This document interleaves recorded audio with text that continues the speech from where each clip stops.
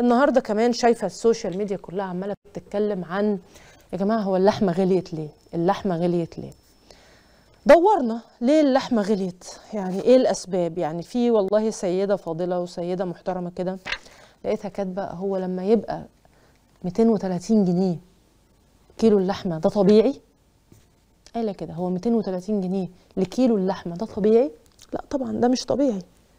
ده مش طبيعي إن كيلو اللحمة في بلد يبقى ب 230 من العملة بتاعتها. أنا بقى مش هقول لك لا دولار ولا جنيه ولا ين ولا ريال ولا 230 جنيه ده رقم كبير. رقم كبير في بلد زي مصر رقم كبير في بلد دخل الفرد بسيط جدا أو متوسط دخل الفرد بسيط جدا والأسعار بالشكل ده. قال لك اليومين اللي فاتوا في زيادة 10% اليومين اللي فاتوا في زيادة 10% حصلت على موضوع أسعار اللحوم فسعرها بقى رسمي من 210 في الريف 210 في الريف و230 في المراكز والمدن الكبرى.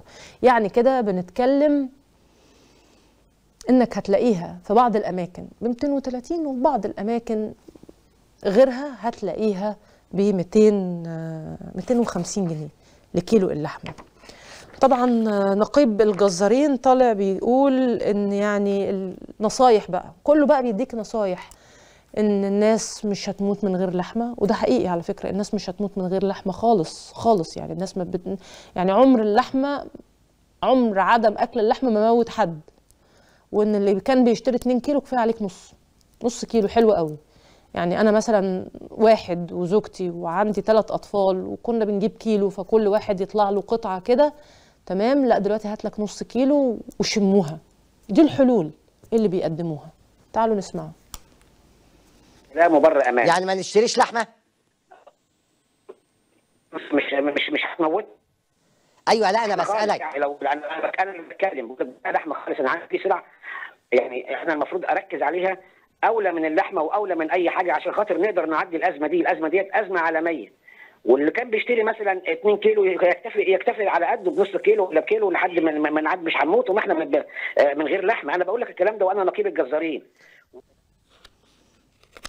أنا نقيب الجزارين وشايف إن ما باليد حيلة وشايف إن مفيش أي نصيحة أقدر أقولها للناس غير إن اللي كان بيشتري يا جماعة 2 كيلو يكتفي بنص كيلو.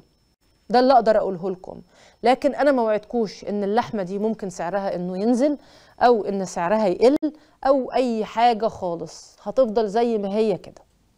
هتفضل بالسعر ده أنتوا اللي قللوا من استهلاككم.